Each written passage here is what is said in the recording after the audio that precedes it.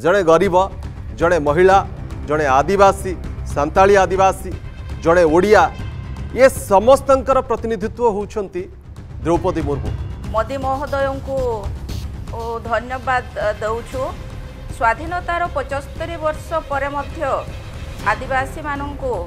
ଏଭଳି ଉଚ୍ଚ ପଦବୀ ବା ସର୍ବୋଚ୍ଚ ପଦବୀରେ ଆସୀନ କରାଯାଇନଥିଲା ବର୍ତ୍ତମାନ ଏନ୍ ଡି ଏ ନେତୃତ୍ୱରେ ଏହା କରାଯାଇଛି ଏହା ଅତ୍ୟନ୍ତ ସ୍ୱାଗତଯୋଗ୍ୟ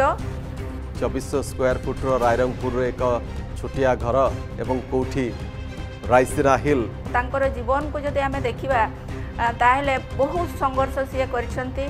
ମୁଁ ତାଙ୍କ ସହିତ ରମାଦେବୀ ମହିଳା ମହାବିଦ୍ୟାଳୟରେ ପଢ଼ୁଥିଲା ବେଳେ ଗୋଟିଏ ହଷ୍ଟେଲରେ ଆମେ ରହୁଥିଲୁ ଏବଂ ସେଇ ଦିନଠାରୁ ତାଙ୍କୁ ମୁଁ ଜାଣିଥିଲି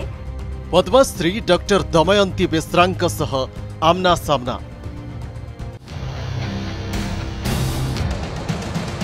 आज संध्या सतटा तीस